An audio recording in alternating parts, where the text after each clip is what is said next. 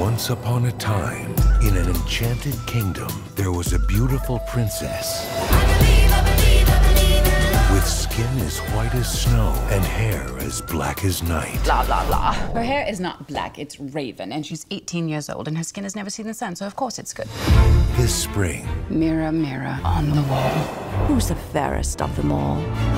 Snow White. What? What? Snow White. a classic tale gets a new wrinkle.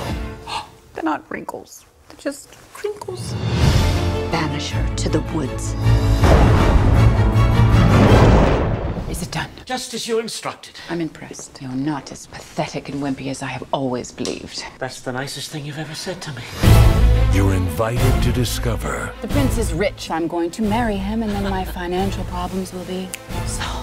An untold adventure Organize a ball. We are going to sweep this kid off his feet. of romance, I think Snow White is the most beautiful woman in the whole world. Agree to disagree. mystery, Who are you? Snow White. No, who? No way!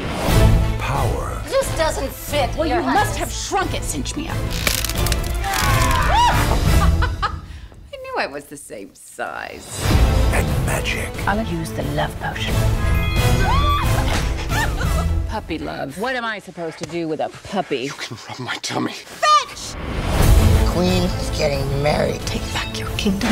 I read so many stories where the prince saves the princess. It's time we change that ending. You're with the bandits? You're with the queen. Should we help her? She's doing pretty good on her own. If you weren't trying to stab me right now, I might be tempted to kiss you. The bandit's leader is a she. Bandits' leader is Snow White.